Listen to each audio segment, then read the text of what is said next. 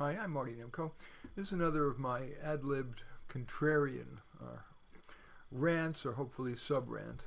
Um, I do not understand why in many areas, uh, including all of California, there is pretty much a ban on building any new freeways or freeway lanes.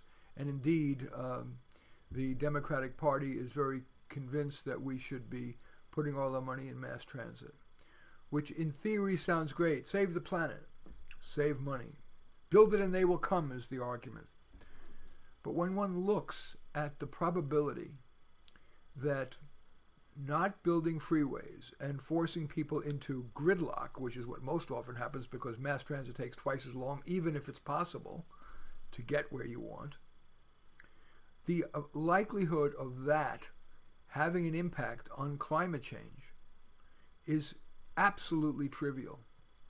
But with 100% certitude, millions of people who are already, their days are already overpacked, are forced to sit, ironically, spewing more and more pollutants from their cars, wasting hours in gridlock, getting stressed out, and we all know stress is bad for your health, bad for your relationships, bad for your work productivity, and ironically, if, we're, if, if one of the reasons they don't want to build freeways is to save money, as though they don't raise, raise enough money, raise enough money in taxes, there will no doubt be increased healthcare costs for the day in and day out, uh, forcing millions of people to sit in unpredictable traffic that ranges from slow to gridlock, and in an ever increasing amount. It almost reminds me of the movie They Shoot Horses, Don't They?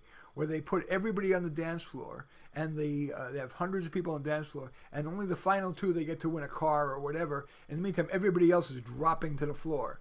This is what's going on for all of us. We are they are building. There's the population is increasing in the metropolitan areas enormously, and but there's no new freeways, so it's all closing in around us, and the gridlock increases and increases and increases. So much for no no rant. This is something I'm very passionate about because it really hurts millions of people with little benefit. And I see, you know, there was one of the more vivid examples of the silliness of some of the mass transit things they've been trying. In Napa, which is pretty near where I live, they decided they were going to do a trolley. And they they and this trolley goes all around the Napa area and it, it rode around empty because it was just a hassle to use. It came too infrequently. It didn't get you where you wanted to go. So just seeing that thing going around and around empty is quite a metaphor or a microcosm for what I think is going on with our brilliant transportation planners. So, uh, as far as I'm concerned, we should be building more freeways, and if anything, putting if we're looking for alternatives, this you know it, it's not a short-term solution, but we have one plane in which roads can be built, but there are infinite number of planes that individual or group flying cars, which have been talked about for decades, and there are some prototypes available, it would be a likely way to avoid having to build very expensive freeways if we invested in smart automated vehicles, not only for land, but um, flying cars, flying vans, etc. Uh, that's merely one idea.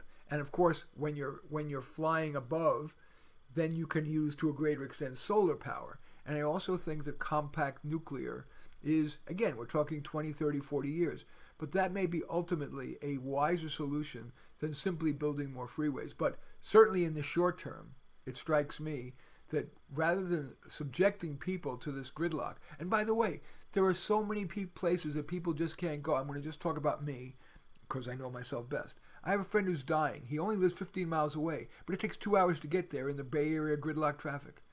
I wanted to rehearse with a with a singer. I can't do it because the traffic again. She's only 10 miles away, but it takes an hour and a half. So we're going to do it by phone, which is nowhere near as good. Um, play any place, place I want to go go out to eat, unless it's right near me, I can't go. Uh, I want to. My wife and I live separate for part of the week. And once during the week, I'd like to go see her.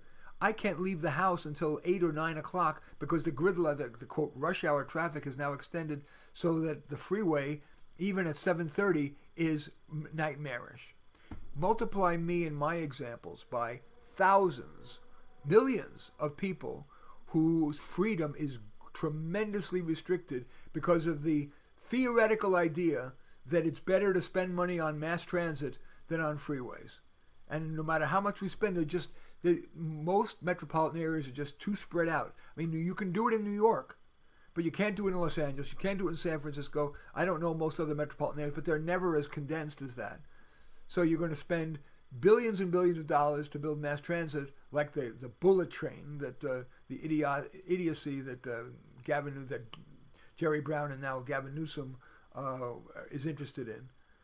Um, so that's the end of my. I totally failed at not not ranting. I was a total rant, but it's you know it hurts me to see the millions of people whose lives are so restricted because of this, wasted hours of one's day, pollution coming out of the tailpipes from sitting in gridlock, and the many many places we can't go, including work. Our work range that we can work is so restricted because you know who wants to sit in, in traffic for two or two hours each way so we're, we're forced to, our job search can only be in a very narrow range, and therefore it's harder to find a well suited job.